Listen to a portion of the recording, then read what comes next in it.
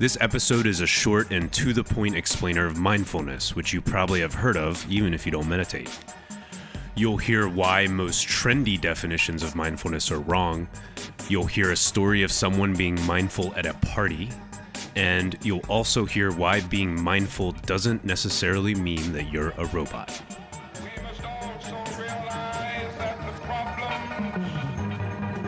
Racial injustice and economic injustice cannot without a radical redistribution of political and economic power. While there is a lower class, I am in it. While there is a criminal element, I am of it. And while there is a soul in prison, I am not free.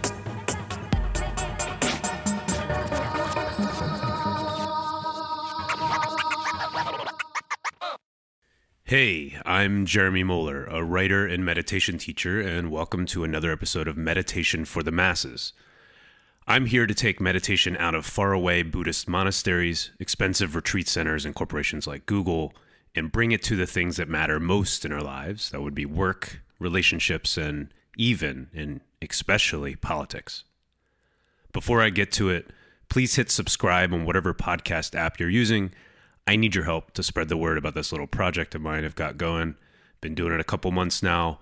We are growing in listeners, but I need you to help me out and spread the word. And if you're really into what I'm doing, please go ahead and sign up for my weekly email with tips on meditation practice. I send that out every week.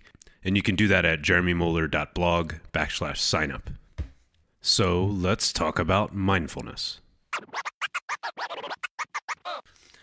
You've probably heard the word mindfulness, especially if you're a listener to this podcast. If you haven't been paying attention, it's one of the biggest fads of the recent few years, uh, along with things like low carb diets. You know, you might have heard of keto, uh, gratitude journals, other self help gimmicks. And if you Google mindfulness, you'll see articles in everything from Time Magazine, Huffington Post. Uh, these publications have been writing and publishing opinion pieces about mindfulness for a few years now. But even Fox News, I was just looking at the Fox News site and I Googled mindfulness. And there were a number of columns and news stories about mindfulness that actually put it in a positive light. I was expecting them to be calling it the latest liberal snowflake thing to do. Um, but I also found a Forbes column, uh, Forbes magazine, written for business leaders. It was arguing that quote unquote mindful leadership leads to improved bottom line and more fulfilled employees. And then I saw researchers have found that meditation, quote, significantly enhances the performance, end quote, of elite U.S. special forces in the military. So, meditation, which produces mindfulness, is being used now for so many different things. And the claims about it are getting grander and grander. But let's set aside all that hype and get down to a working definition, one that all of us can relate to, not just corporate CEOs and soldiers.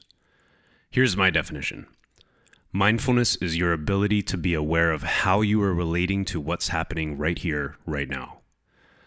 I want to highlight two things in that. It's not the ability, it's your or our or my ability. We already are mindful. We just have to practice it to make sure we remember that.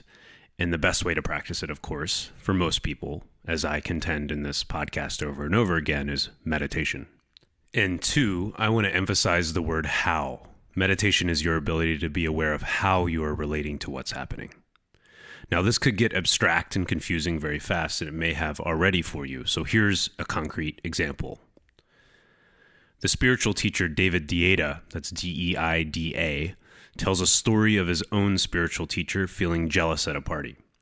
Deida sees his teacher's wife enjoying a conversation with an attractive man across the room, and he asks his teacher, Aren't you jealous? His teacher says, Yes, but the fact that I'm jealous isn't bothering me. So, in other words, the teacher was aware of not only how he was relating to his wife talking to an attractive man, but also the jealousy he was feeling. This level of awareness, also known as mindfulness, allowed him to choose how to relate to the situation and how he was feeling. And I can't speak for him, but it looks like he chose not to make what he was feeling into a problem. He allowed it to just be rather than act on it. Now, I can hear you asking, why would you ever want to let things just be? Aren't we supposed to go after what we want, be in touch with our needs, not let some other person take away who we love? Well, let me say this. The only thing constant in life is that it's constantly changing. Your boss asks you to pick up another shift, Trump tweets something absurd, your husband asks for a divorce, someone close to you dies, and you're bound to feel strong emotions about all of these changes. Being mindful is being able to notice these changes and emotions rather than react to them. When you're noticing, simply watching what's going on and not reacting to it, you can choose whether acting on them is what you really want to do. This sounds subtle, but noticing emotions without reacting to them is an enormous step towards living the sort of life we all want to live. Our default, as human beings with brains that are still evolving, is to avoid feeling emotions we don't want to feel, like fear and jealousy, and grasping onto the emotions that we enjoy and we want to hold on to, like love. But life changes. We're bound to feel afraid and jealous many more times in our lives, just like we're bound to lose somebody close to us or something that we love. Mindfulness is simply letting the things that you can't control be as they are. And if you sit in meditation for a while, you'll realize that your thoughts and emotions aren't within your control. They aren't you. And here's that word how again. All you can control is how you relate to those things that you don't control. I'm going to read a quote about meditation from Angel Kyodo Williams. That middle name is K Y O D O, and she's one of my favorite meditation teachers. She's a black American teacher in San Francisco.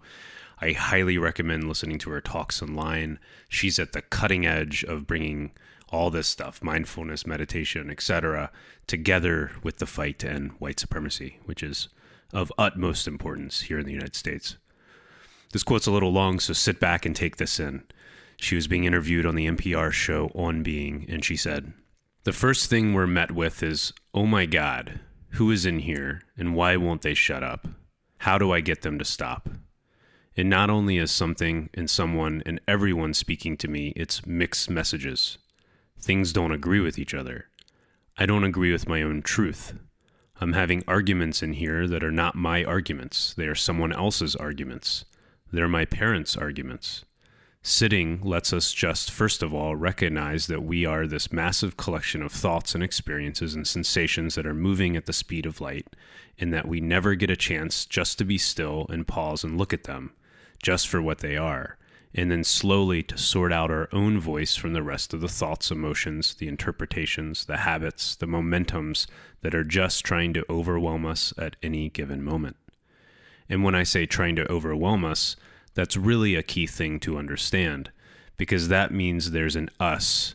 There's a core and deep and abiding us that is being overwhelmed by something that's actually not us. And when we become aware of it, we're like, oh, I actually have some choice here. That was Angel Kyodo Williams. Now is about the time you're wondering why would I want to be a cold, calculating robot that's just making choices all the time? Here's the thing giving up your fantasies of controlling what you don't control, and those are fantasies, will allow you to put more effort, energy, and time into being intentional about what you do control. And let me say that again. Giving up your fantasies of controlling what you don't control will allow you to put more effort into being intentional about what you do control. When you're more mindful, you can tell your girlfriend you love her in the middle of a fight not because you want the fight to end, because you don't want to feel those emotions anymore, but because you want her to know that's how you truly feel about her. When you're more mindful, you can choose whether to stand up and say something to that racist on the bus who's picking on somebody, depending on whether that will make everyone safer in the bus. When you're more mindful, you can sit beside your father in the retirement home and just be with him not try to fix him or distract him from the suffering he's going through or do something just because you're feeling awkward and uncomfortable. You can just be with him. And usually that's what most people want. And that's the stuff that matters so much more than churning out more productivity and profits from your employees because you happen to be one of the handful of CEOs running big corporations in the US it's it matters way more than what the U.S. Special Forces can do with guns and missiles and all those things.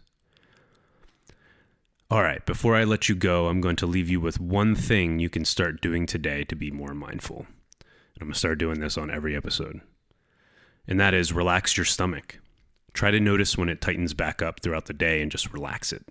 Relax it while you're walking, while you're sitting in your car, on the bus, while you're eating, whatever you're doing. Try to relax the muscles around your stomach. Our society puts a lot of pressure on us to look a certain way, so many of us hold tension in our stomachs. We're walking around as if something bad is about to happen and we need to clench and hold tight to protect ourselves. Now, if you can notice that it's tight and relax it, that'll go a long way to bring you back into the present moment and back into realizing that most of the time we're safe. And when you do this, when you're in the present moment and you're tapped into what your body feels like, you'll be able to start to notice how you're relating to the moment and how you feel about it. And that is mindfulness. Thank you for listening. A few things before you get on with your day. Make sure you're subscribed to Meditation for the Masses on iTunes or whatever app you use for podcasts. That's so you won't miss an episode. If you want more from me, sign up for my weekly email on meditation at jeremymohler.blog backslash sign up. My website also has free recordings of guided meditations and when and where I teach meditation in person. I generally teach in the Washington, D.C. area, but hope to expand my reach in the near future. And finally, Please rate this episode on whatever app you use to listen to it. You might not realize how important that is. I spent years loving podcasts like The Tim Ferriss Show and The Dig without ever actually rating them, even though their host would ask me to rate them on every episode. Ratings make podcast apps recommend meditation for the masses to folks looking for podcasts on meditation. So it's really important to me. I deeply appreciate you listening. Thank you.